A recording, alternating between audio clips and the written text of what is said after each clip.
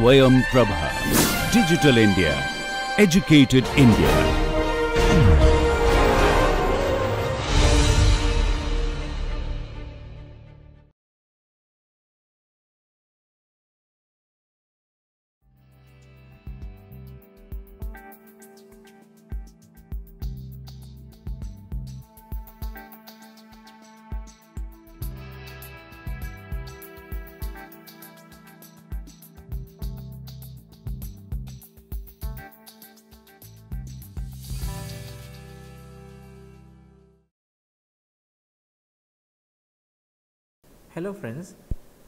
Back to this uh, lecture on uh, problem solving.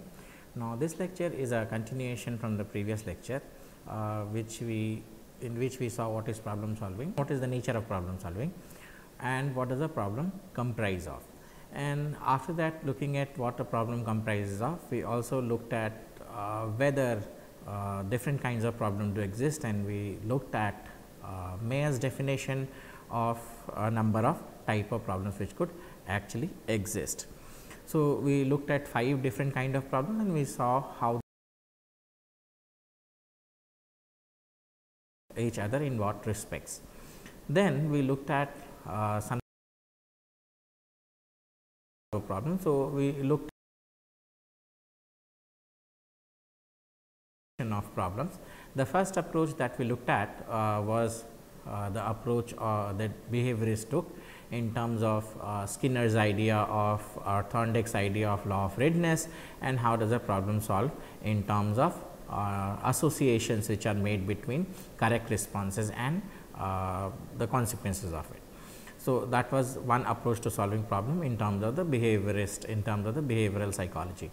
And the next approach that we saw in last class uh, which helped us understand how to solve problem was in terms of the Gestalt approach, uh, which talked about problem solution as reorganization of uh, the items or materials available in a problem. Or so uh, what this approach said is that problem solution is about reorganizing uh, the problem elements in such a way that a novel solution comes up. And so it, they talk about something called the I experience or the insight.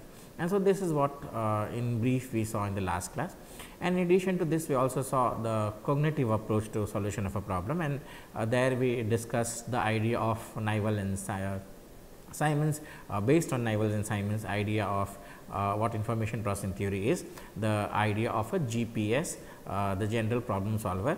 And so, this GPS basically then talks about how to break the problem into its sub problems and then arriving at the uh, larger solution of the problem in terms of integrating uh, smaller problems or finding solutions to uh, smaller problems uh, of the larger problem. Now, what do I mean by this? Take a large problem, break up into smaller problems, then arrive at solutions for smaller problems, integrate them together and then arrive at a final solution of the larger problem and that is what the idea of the general problem solver was and the concept of a general problem solver.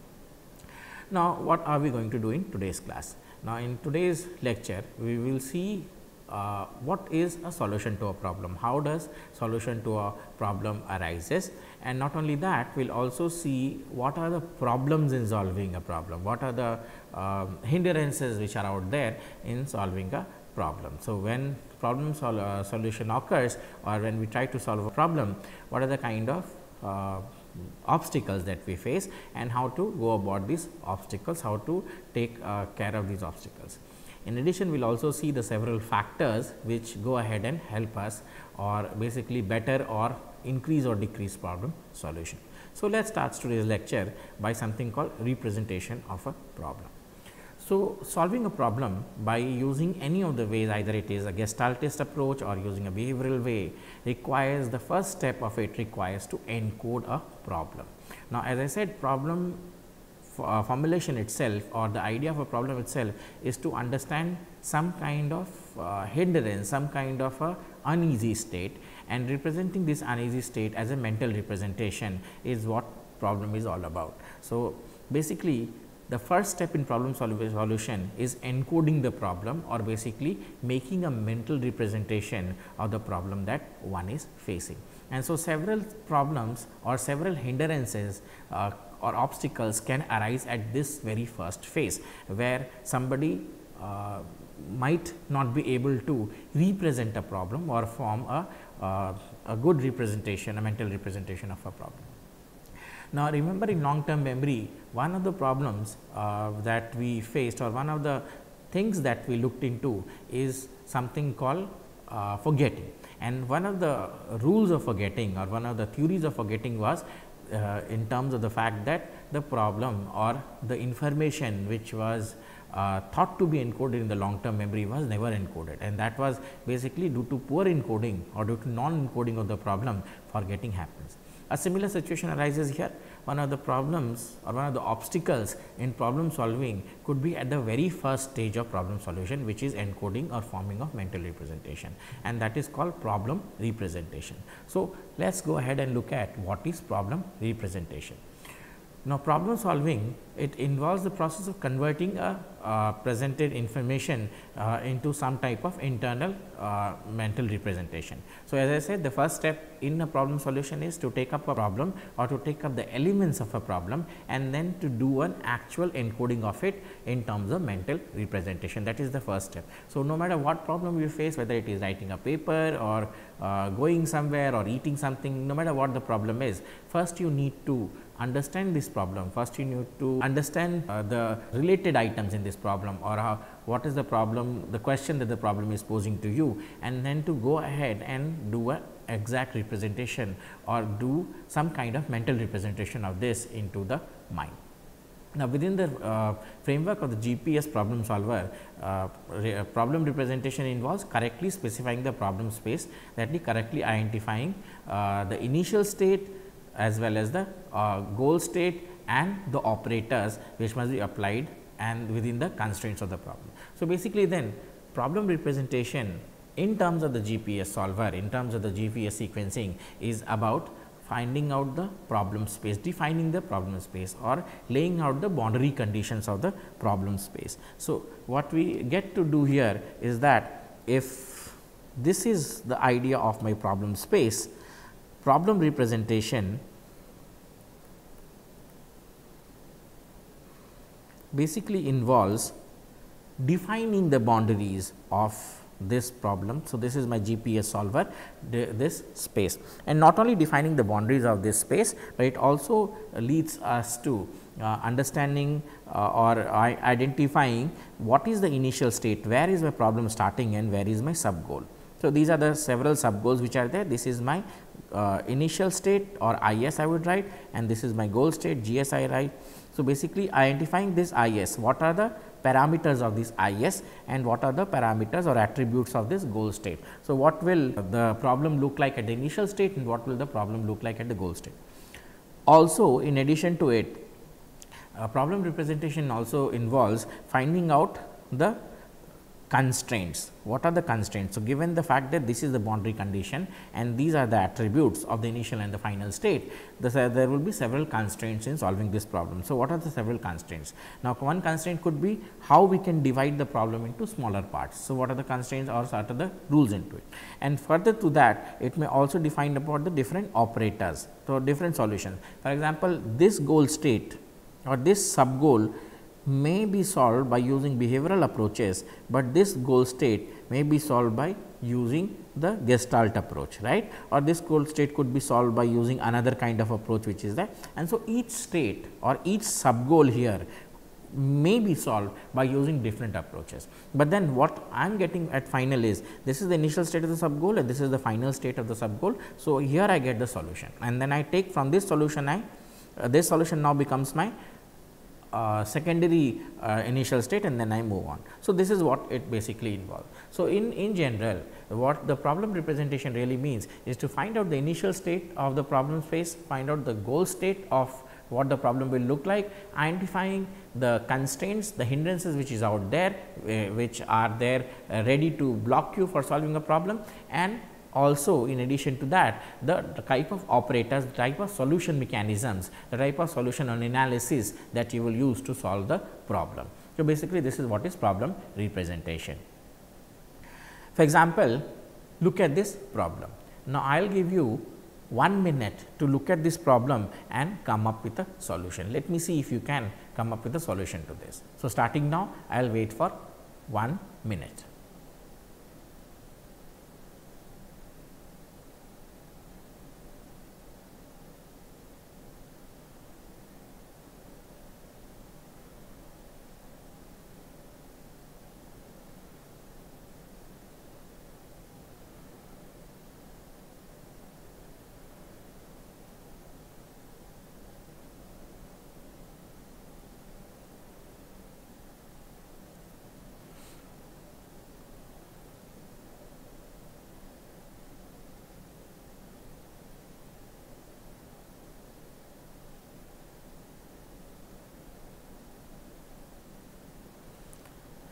So, coming back to the problem, I hope that you are able to solve this problem. Most of you would have been able to solve this problem. So, basically it's it's the problem talks about two monks going up and down uh, or one monk, uh, monk going up a particular hill starting at sunrise and reaching there at sunset and then starting at sunset and reaching towards the downhill position from where he starts at the sunset.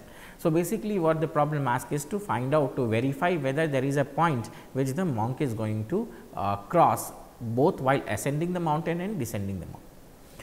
Now, you realize what, what is the solution to this? Do you understand what is the solution to this? And so, most most people who start uh, writing mathematical equations to solve this problem, you will not be able to solve this problem by this. And this is what I mean by problem representation, which is basically understanding what a problem is and I am presenting you the solution. The easiest possible way to solve this problem is using a visualization. And so, what I am going to do is show you a visualization of the monk problem. And so, if you do the visualization like this again coming back to the solution. So, if this is the problem the solution is doing a visualization and as you see if I do a visualization these two people go up and down the mountain and so there is a spot where they are going to meet and so the easiest way to look at this problem is doing the visual uh, visualization or visual interpretations of it. And so, if you use any other interpretation or any other operator to solve this problem, you may not arrive uh, very easily at the solution of this problem. Right. So, this is basically what is problem representation to identify what the problem is and to understand the sequence to understand how it should be solved. Now, I will give you another problem, try to solve this problem. Now, I will give you 30 seconds it is a very easy problem, I will give you 30 seconds to solve the problem and let us see if you can solve this problem.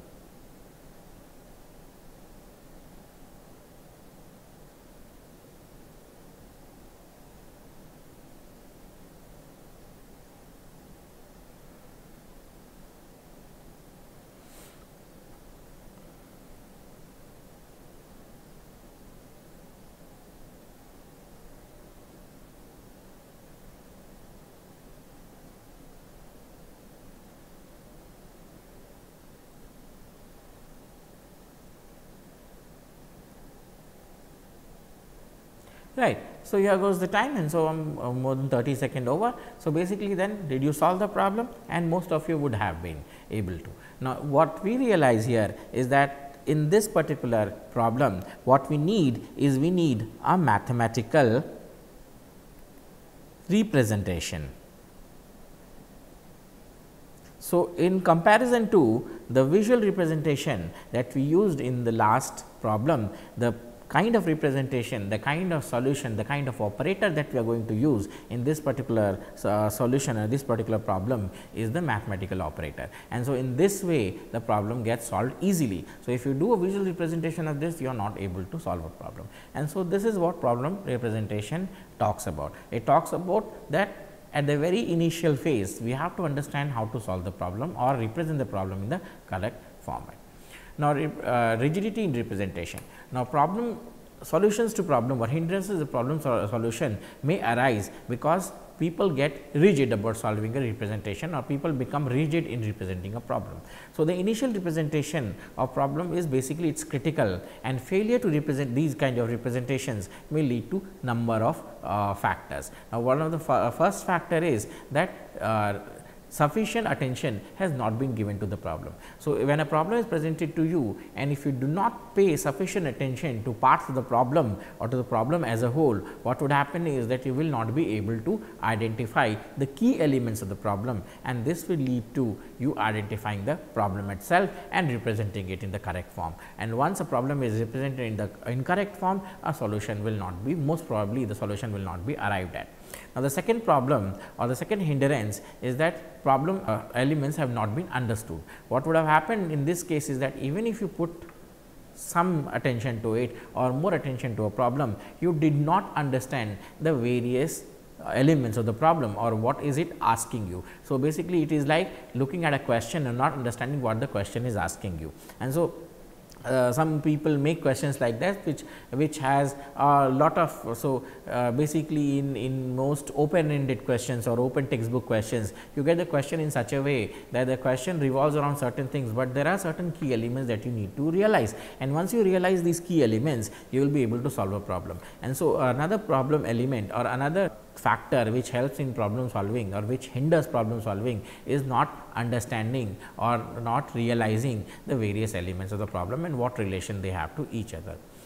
The third problem uh, that could arise or third obstacle that could arise is previous experience with similar problem uh, may not have led to encoding the problem elements in a uh, rigid manner. So, what would have happened is since some examples of the uh, present problem and this is basically called analogous problem solving. So, when solving a problem due to past experiences what we tend to do is not look at a problem in a particular way, but think of the problem in some fixed manner and that is basically a reason for failures in problem solving. So, instead of thinking independently thinking about a problem, independently realizing a problem or independently focusing uh, your attention onto certain elements of the problem, we tend to use a heuristic approach to it, match the problem to some already stored format of how it was solved previously and that could lead to problem uh, not being solved or leading to incorrect representation of the problem.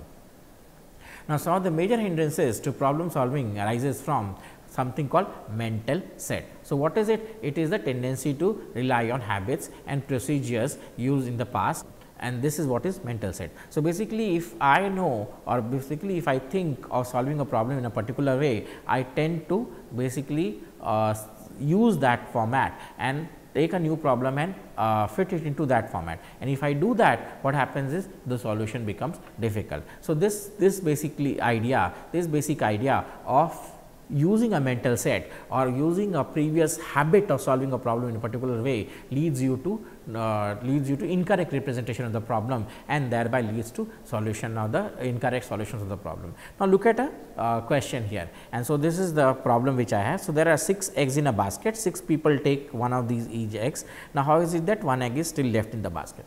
Now, most of you would worry about the fact that how this has happened, but then hidden within this is the representation problem and mental set says that 6 people took 6 different eggs. So, how is it that one uh, the one egg is still in the basket? The solution to this uh, you have to realize that the last person who took the egg also took the basket with him and then it is possible that the last egg is still in the basket and what when, when you think of this in terms of 6 different people the mathematical uh, variable then you think 6 people going away taking 6 different eggs and do not realize that the 6 person can also take a basket with it and so there is where the mental set is all about.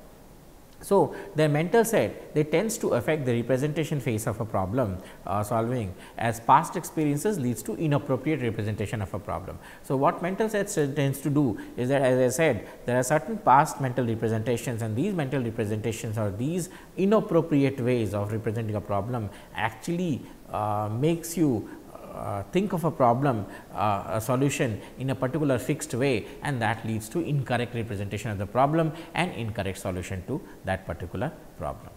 Another factor which is of importance or which is of any importance to solutions of problems or uh, in terms of representation and solutions of problem is something called functional fixedness. What does it uh, what does it mean? It refers to people's tendency to view objects in a narrow fixed sense right in terms of the typical functions of an object. So, in functional fixedness what we tend to do is that we just look at something in a particular way in a particular manner. So, a spoon for example, should be looked at or is looked at only as a spoon something which is for eating. We do not think of a spoon as a lever and so what we can do is you can use you can think of a spoon as a lever and then use it to raise the, the upper part of a tin uh, or if you have a tin can and there is a lid to the tin can, we can uh, wedge the spoon between the tin can and the lid and apply pressure to it. Basic uh, physics, basic simple physics and that can help us in uh, opening the lid of a tin, but then we do not realize it and functional fixedness says that a spoon is thought of as a spoon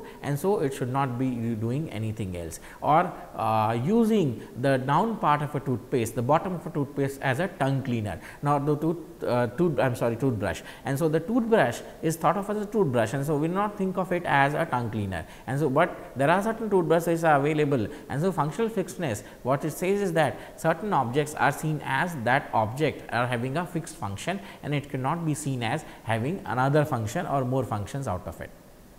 So, one development perspective says that functional uh, fixedness they uh, peak up or they start or they hold on to people as they grow older in age. So, younger children are more flexible in terms of functional fixedness they can they are not uh, harmed by or they are not uh, troubled by functional fixedness, but people as they grow in age they become this narrow sense they approach at this narrow sense of how a functional or what a functional fixedness is. Now, look at this particular problem this is called the two string problem. Now, I will give you 30 seconds to look at this problem and tell me how to solve this and I can bet you that due to functional fixedness you will not be able to answer this question.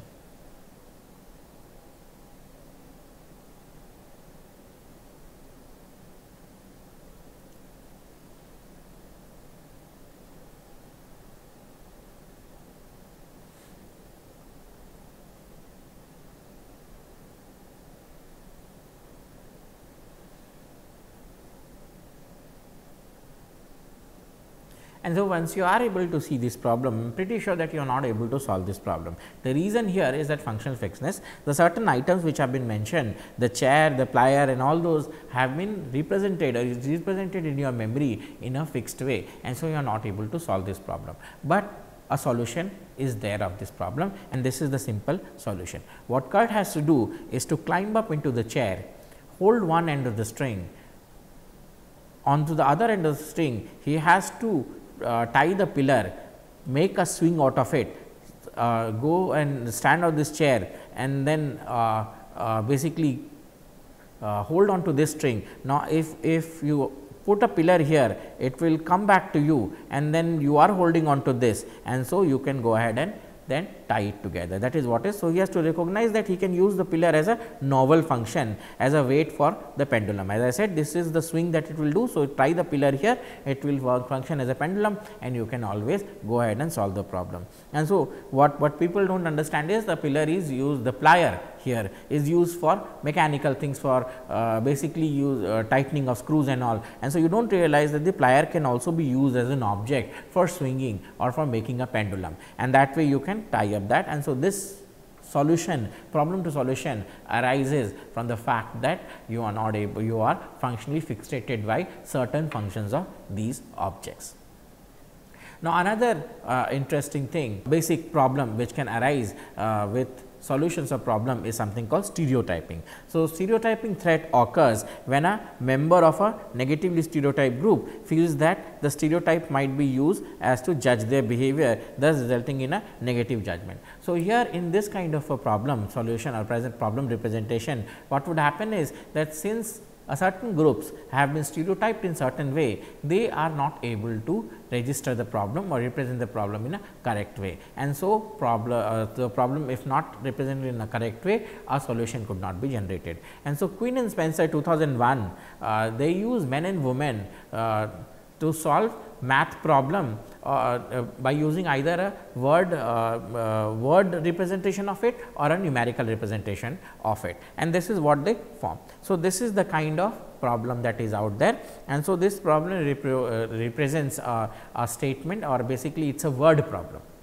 And so, this kind of problem was given to people. Now, uh, so, this is a word problem it can this problem can also be represented in this particular format. So, either represent the format uh, the problem in this format which is now a word problem or I could use a algebraic problem or a equation problem or e equational format of it. So, two representations are there and so it was believed that or there was a um, uh, need or there, this study basically proposed that women would solve more of numerical problem than uh, in, in word. So, word uh, the same problem in terms of a word when it is uh, related in terms of word form then when it is related in terms of an equation and this is the results from Quinn and Spencer study. It was found that the males and females. So, word problem more males were less males were able to solve the word problem and more males were able to solve the numeric format. So, this is the numeric format of the problem and this is the word format and in terms of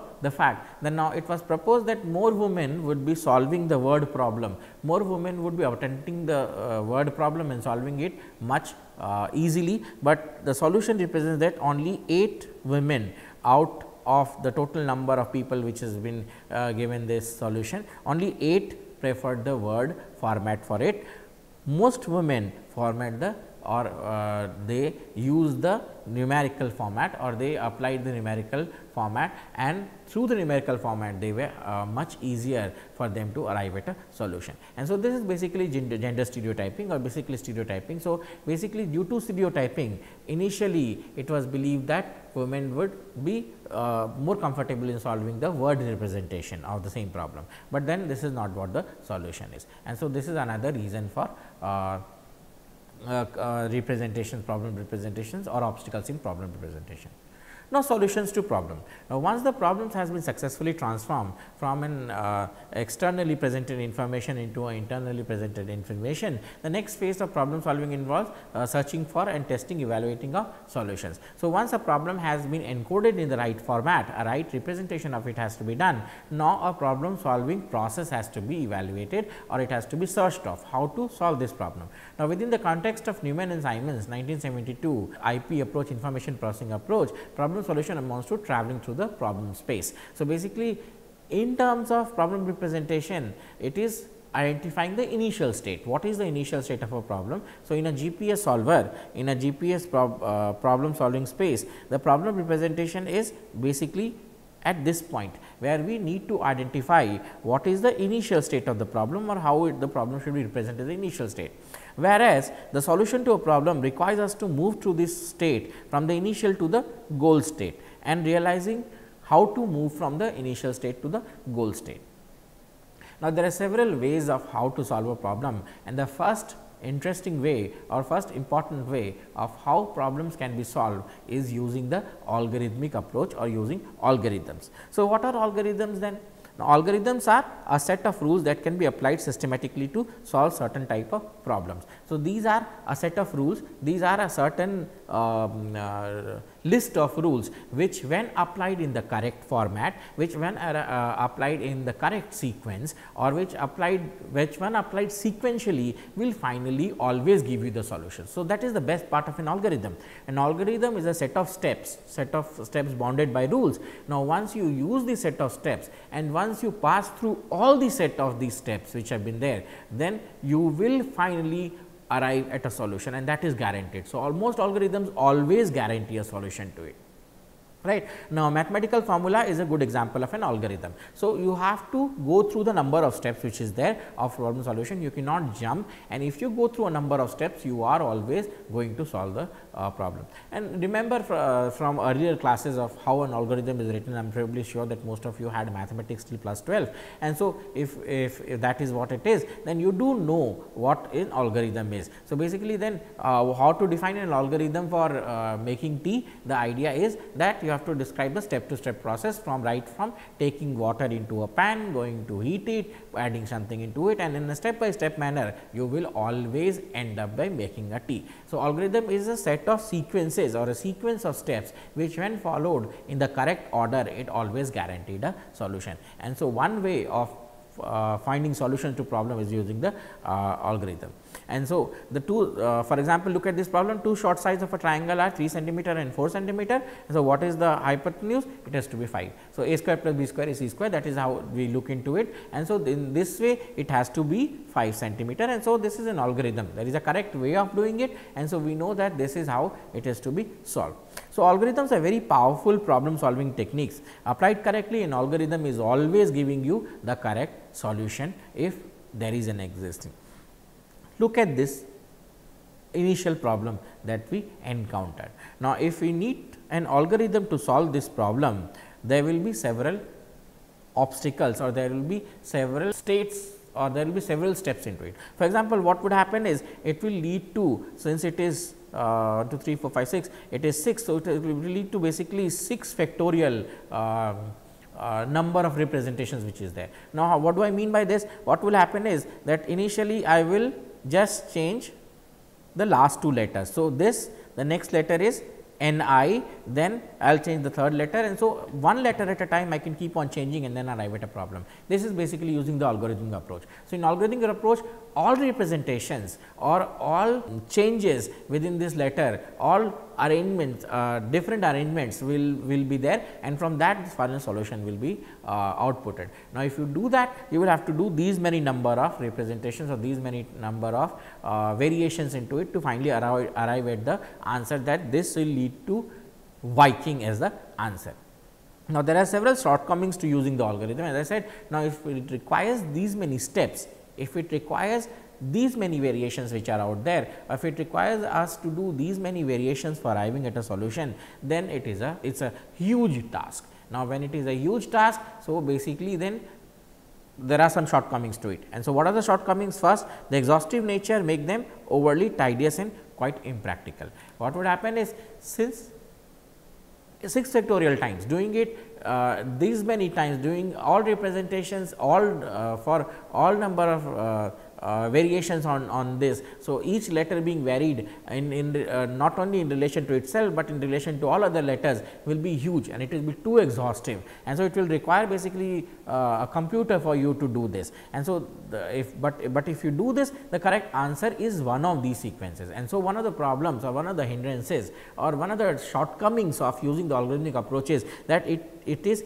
very tedious in nature. It requires a number of uh, variations and so it is quite impractical. Nobody has that much time to go up and look at these many variations. Now, simple code breaking, password breaking. How do you do it? One of the ways of doing a, a password hacking is basically using or, or uh, to basically do ethical hacking is to use something called the brute force. Now, in the brute force what happens is all combinations that exist into the dictionary is used by the computer to arrive at the password. Now, if we do that and if it is uh, assuming that it is a 7 letter password, then we will have to do almost innumerable uh, number of representations right from A in the first place to a, uh, 26 different representations of the first place, 26 different representations of the seventh place, second place till the seventh place and then in relation to each other also using each representation. So, huge numbers and so this is one problem or this is one uh, shortcoming of the algorithmic approach. What is the second shortcoming? There simply are not any for most of the problems in our daily life. So, what would happen is since algorithms are the best way to come up with a solution and they always guarantee a final solution, what it turns out to be is that for most problems of our daily life, we do not have an algorithm out there. And so, we, if we do not have an algorithm out there, then solutions are difficult and then it becomes difficult for us to come up with a solution, because there is no algorithm, there is no true method of doing it. Why? Because each new problem daily life problem is a new one it is not an exact replica of some problem that we have seen and so that is one thing. Another interesting way of coming up with solutions to problem is using a heuristic. Now, what is a heuristic? These are general strategies or rules of thumb that can be applied to various problems. So, basically then one way is using the algorithm, another way of solving a problem is using a shortcut and this shortcut or mental shortcut or rule of thumb is called a heuristic. So, this serves as a shortcuts through problem space. What heuristics are? It are these are fixed ways of solving a problem or these are fixed ways of how do we go ahead and bypass the algorithm, algorithm some steps of the algorithm. So, these are what are heuristics. So, given the strength and limitation of human problem solver along with the fact that most problems are ill defined, they are relatively large problem spaces, heuristic problem solving is more effective. The reason is since the problem space is huge, since any problem requires a number a big problem space and a number of sub problems into it, what people tend to do while solving problem is using a heuristic. What does a heuristic do? It uh, gives you some kind of a shortcut. So, what is this shortcut? It is in terms of bypassing certain steps, steps of the algorithm. Now, since we know that if we come to know that step 2, 3, 4 or 5 of an algorithm always gives a particular answer. For example, mixing uh, uh, yellow with green gives a particular kind of color and if we know that we need not repeat this each time or uh, mixing tea, leaves into uh, boiling water and uh, boiling water always gives a certain kind of color a certain kind of taste and flavor. We need not repeat this again and again and so we can jump by stating that if you mix tea into it this is the kind of color that we are going to get. And so this is basically what is called uh, the heuristic approach of problem solving. For example how do we solve the same problem? So, in terms of algorithm we saw that we will do n number of manipulations, we will do these uh, 6 uh, different letters are there and we can manipulate, we can do all number of arrangements out, out of it and then come up with a problem. A good heuristic of how to solve this problem is that thinking of GK, VK and IKN are not possible. So, English words do not start with this kind of beginning and so we can eliminate these kind of or these different startings with it and so these are eliminated. And we can say, since use more, uh, more and then come up with the final answer that V i k i n g is the final solution. Because this is the heuristic it says that if in your understanding or in your, in your uh, life you haven't seen in your readings you haven't seen any word starting with g k v k v g or i k n and so uh, these can be eliminated this can be ruled out also look at this particular things. Now, it is a daily shopping experience and if you do that basically or if you think that you are shopping what most people tend to do is something called round up. And so, one easy way to solve this problem is rounding this to 20 and rounding this to 30 dollars and rounding this to 30 dollars. So, 30, 30, 60, 70, 80 is the answer. So, 80 dollar is what you are spending. But algorithmic approach says that we have to add up 9.95, 0.98, 0.97. Generally speaking, most people will say that I spent up 80 dollars. So, uh, if you are purchasing three item, it is 80 dollars which is there. What I have done is I have rounded up and this rounding up is called the heuristic or this is the problem or this is the mental shortcut. So, the fastest way uh, is to basically go ahead and round up and this is what is called the uh, heuristic way of solving a problem. A third way of solving a problem is by using a means ends analysis. Now, what is a means end analysis? Now, basically the general problem solver which was done by Newell and Simon, it basically utilizes a heuristic known, known as something called means ends analysis. Now, what is the uh, MEA? It involves basically breaking a problem. So, if I, I, this is my problem state, initial state and this is my goal state and what then happens is that means ends analysis says that I take this problem and break into four different parts and each of it which is solvable. And then what I do is I then this becomes this part then becomes my initial state 1 and this is my goal state 1. So, I first think of solving this part of it and then when this goal state now becomes my initial state to problem 2, I solve this part of it, then I solve this part of it and then I solve this part of it. For example, think about launching a rocket. If I want to launch a rocket, this is a huge problem. Now, I can then divide this rocket launching into several steps. For example, thinking about uh, the physics of it, thinking about uh, what material should be used, what kind of fuel should be used. So, there would be people who will calculating the fuel, calculating how the rocket moves up, calculating things like what, what is the material that should be used. And so, several people or this launching a rocket can be broken down into several steps right from the physics to the chemistry of it, the physics of it and several other uh, systems in which should be integrated to, the electrical appliances and so on and so forth. Now, I saw, solve this one part one part by one part and then I come with the final solution or a simple thing that if you have a car it is not starting. Now, if the car is not starting break this uh, starting of the car into several sub parts. For example, check the key, check some the ignition, check the battery and so on and so forth. So, several solutions are there and I arrive from one, one solution state to the another solution state. The first step is to raising up the uh, bonnet, to identifying where the battery is, to testing the battery, to basically then testing some other facts, the electrical circuits, testing the fuse and then finally arrive at solution of this problem, how to start a car if which is not starting. So, then the MEA it involves breaking up the problem into several sub goals in which accomplishing each sub goal moves the solver close to the final goal of the problem solution. As I said if you attain the if you solve this huge problem, if you break this huge problem into smaller problems and solve it one by one or solve parts of it one by one, you will finally arrive at the solution. As the term, uh, term implies in MEA, the solver systematically attempts to devise means to get to the each sub goal's end. MEA can be effective way of transforming a uh, effective way for solving a transformational problem. Now, look at this problem and if I want to solve this, remember this is the solution to it.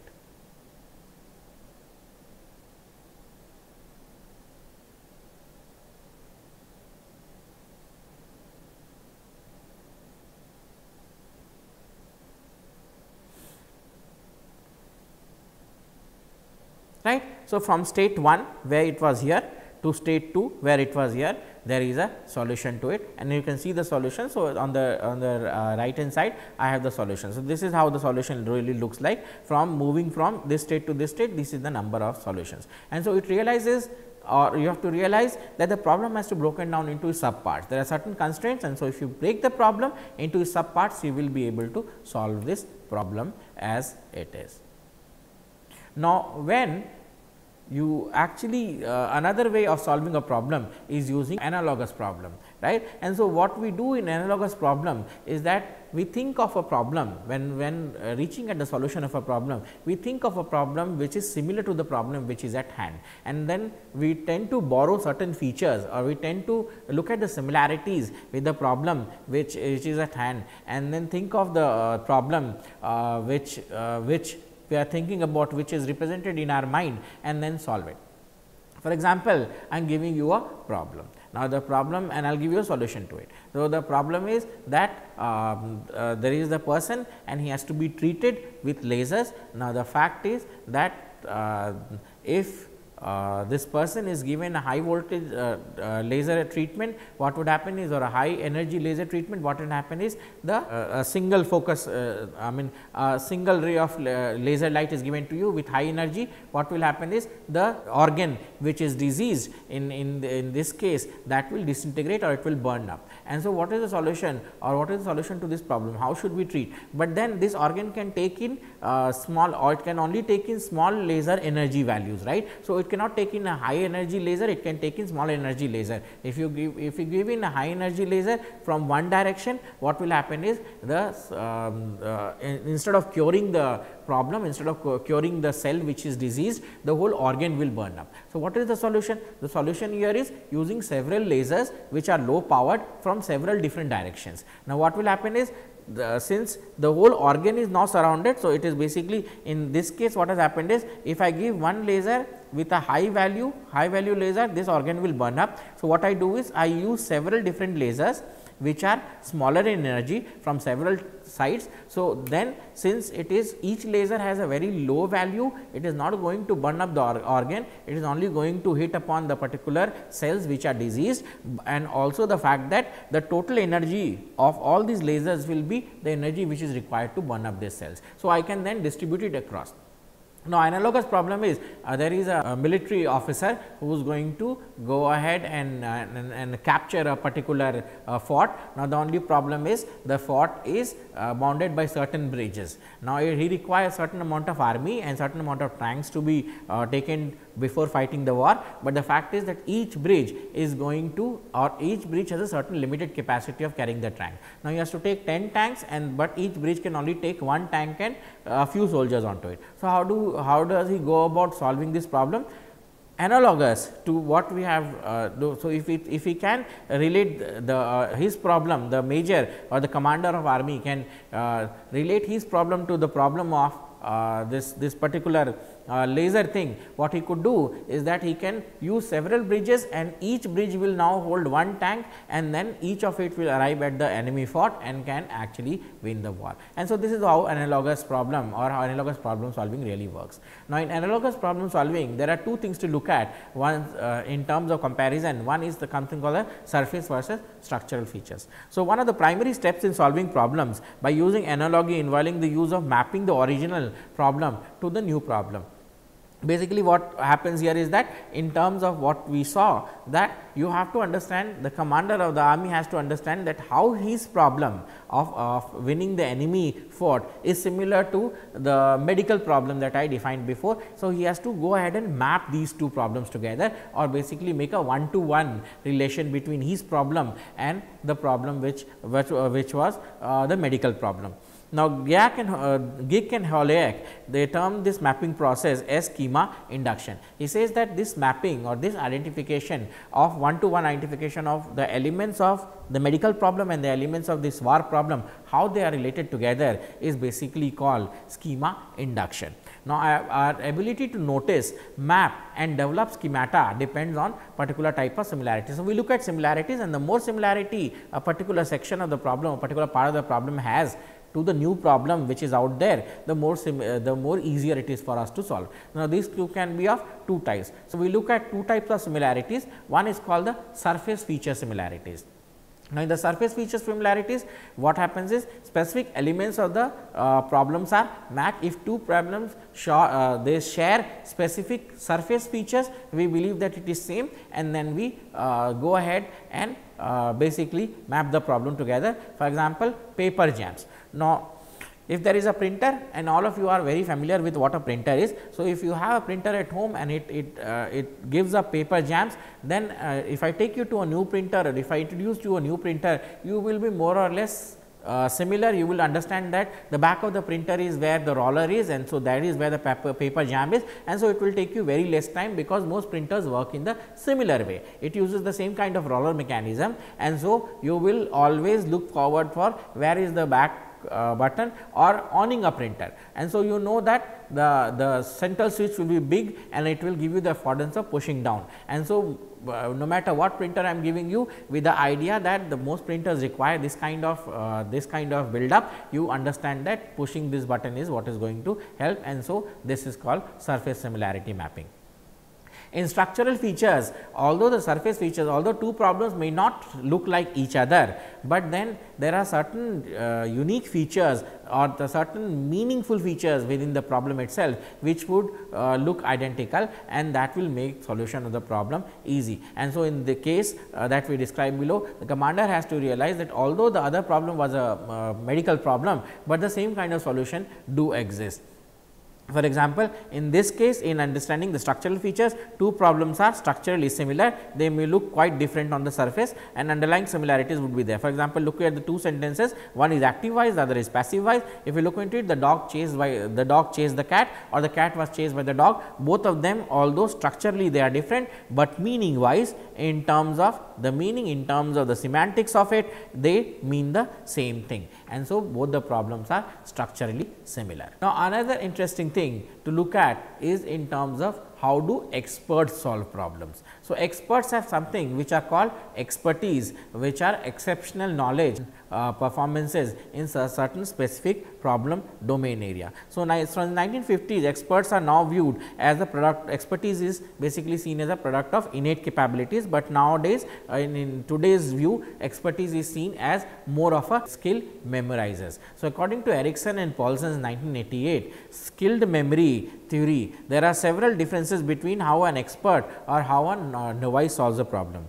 First, experts have highly rich semantic networks, which basically means that the semantic network, the thinking network, the network through which they solve problems are highly developed or highly connected with each other. Experts have quicker and more direct access to long term memory. So, most experts can easily uh, access long term memory uh, because they have done this problem solving this kind of a problem uh, over and over again and so they have quick access to long term memory then in terms of what a novice could do. And information is more easily encoded onto long term memory by experts and the speed of the encoding improves with practice. Now, if for an expert he can understand quickly the problem, the, the parts of the problem, quickly represent the problem in the correct format and quickly find out the problem space also find out the correct operators and can solve it. For novices the problem is the problem arises, the hindrance arises right from the very beginning where the representation of the problem has acts as a hindrance and even if the representation is there they might not find the correct operators. And so, this is the difference between an expert and a uh, novice problem solving.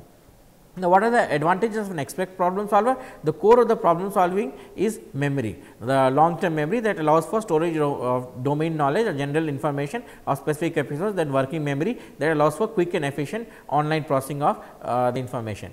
So, basically studies by Chase and Simon 1973 and de Groot 1988, uh, they point that experts can instantly recognize problem configurations based on extensive knowledge and experiences. So, uh, what experts tend to do is they quickly uh, understand a problem. When they look at a problem, they are very easy in understanding or they are very quick in identifying the problem configuration, which means that problem representations is very easy in expert. They can very quickly identify a problem. Now, Ericsson and Kintsch in 1995, they proposed that the idea of long term working memory to explain expert advantage in, in online uh, processing of problems. Now, the theory states that experts can bypass limits of the working memory by using the information or the working memory to direct access to LTM. So, what experts can do is they can bypass this working memory uh, uh, storage capacity problem and they can using the working memory directly access the long term memory and so this is the way how experts are better. Also expert problem solvers use gender strategies that differ from those of the novice leads to searching the problem space in a forward fashion then uh, reaching from uh, the goal. So, what experts tend to do is they when given a problem they do not think about the goal state and, and travel back from the goal state to the problem state. What experts tend to do is they use novel strategies, they use effective strategies and they always move in a forward direction from the initial state to the goal state and that is why they are faster in solving a problem than coming from the goal state to the problem state. Experts are much better picking up on structural features of the problem and recognizing analogous problem. So, experts are not fooled by the surface feature of a problem, they always look at the meaning, they always look at the at the conceptual level how a problem is different from some other problem and so they are easy, they are easy in understanding the structure these structural problems and identifying analogous solutions to it. And uh, Lemaire and Siegler in 1995 proposed that the adaptive strategy model which distinguishes between experts and novice. And what does he say? The strategy existence experts have more number of strategies in disposal. Since they have solved problems in so many uh, ways or they have solved so many problems they have something called the novel strategies or more number of strategies at the disposal than the novice. Also strategies based base rate experts in a given uh, domain of knowledge uh, which strategies tend to work and select those strategies. So, in a given domain of knowledge for example, looking at math expert they tend to know which formulas are going to work which formulas are not going to work and so they tend to be very choicy in using those strategies or using those formulas which are going to work and not uh, those formulas which are not going to work. So, they do not do foolish acts what they tend to do is only those uh, strategies are used by experts which tend to work and they use those strategies over and over again. And the third thing is strategy choice refers to experts advantage in discerning which strategy should be chosen for a specific circumstances. So, they are very quick in identifying which strategy should be chosen over which other strategies and how these strategies choice works with in uh, circumstances work with environment. So, what is the relation between environment and strategy and they are very quick in identifying which strategy is going to work and which strategy is not going to work or which strategy to choose and which strategy to not choose. And fourth is strategy execution refers to that expert advantage in actually carrying out the strategy in terms of speed and accuracy. So, basically even if they know a strategy novice would not be able to basically implement this strategy with speed uh, and accuracy, but experts what they tend to do is since they have used the strategy a number of times they know what strategy is going to work and they have a number of strategies at their use they also can execute the strategy fast with higher speed and higher accuracy and that is how they differ from the uh, novice. But then this is not the only thing there are certain disadvantages also for example, novice are better at understanding uh, randomly arranged problem than experts. Novice can focus on to uh, problems or elements of the problem which experts will not focus on. Since experts are always directed at solving a problem, they always look at those factors in a problem which uh, require a solution or which give them a hint towards the solution. And so, they tend to overlook other features or other answers in a particular problem. Also, novice remember more information about specific problems than experts and this is termed as immediate, immediate intermediate effect. Now, what happens here is that novice since they look at a problem study the problem wholly they understand all parts of the problem right. What experts tend to do is pick up only those configurations which need solution or which have solution and so one once you ask both the expert as well as the novice about basic questions relating to what the problem was novice will tell you more about what the problem was and not the solution faster, but experts will not be able to tell you what the problem the overall problem was. They will only look at features of the problem and how to go ahead and solve it. And experts may actually be actually solve problem using mental set as compared to novice users. Now, experts make this mental set of a solution of how a particular solution should arise, how a particular problem should be represented and solution should be approached at and they use mental set. Whereas, novice do not have these mental set and so they can uh, have varied solutions, they come up with multiple solutions although if not correct it may not be correct, but they can come up with these things and so they are uh, different from experts. And so, in what we did in this today's lecture is we looked at different type of problems uh, solutions which exist, what are the uh, hindrances to the problem solutions which are there, did a comparison of various problem solving techniques and at the end of it we also looked at what is the difference between or how experts and novices differ with each other in terms of solving a problem. Thank you.